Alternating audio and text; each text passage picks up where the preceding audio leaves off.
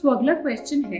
can the novel corona virus be transmitted by a dietary item और their packaging so इसका answer है कि packaging के through corona virus का transmit होने की पॉसिबिलिटी काफ़ी कम है बट येस प्रॉबिबिलिटी है। अगर किसी कोरोना वायरस पेशेंट ने हैंडल किया है उस पैकेजिंग को, और आपने उसको टच करा है एंड उसके बाद आपने अपने जो भी पैकेज टच किया है, आपने उस, उन, उन्हीं हैंड से कुछ खा लिया या अपने माउथ नोज़ या आइस के अराउंड टच किया है अपने हैंड्स को तो देर इज़ अ पॉसिबिलिटी कि आप ट्रांसमिट कर सकते हैं। इसीलिए बहुत ज़रूरी है कि आप सारे ये पैकेजिंग को फ़ूड आइटम्स को अच्छे से हैंडल करिए। जब भी आपके घर में कुछ भी अगर आपने ऑर्डर किया है और वो पैकेजिंग आती है try to handle it properly उसको क्लीन करिए, उसको डिसइनफेक्ट करिए सैनिटाइजिंग कोई भी सैनिटाइजर को एक अच्छे से कॉटन के अंदर लेके you can wipe it off and then put it in the sun for some time before you get it in the house और फ़ूड आइटम्स की कुकिंग इज़ वेरी इंपॉर्टेंट कि आप कंप्लीटली कुक करके अपना item खा रहे हैं। अनहाइजीनिकली produce जगहों से आप कुछ भी चीज़ों को प्रोक्योर ना कीजिए।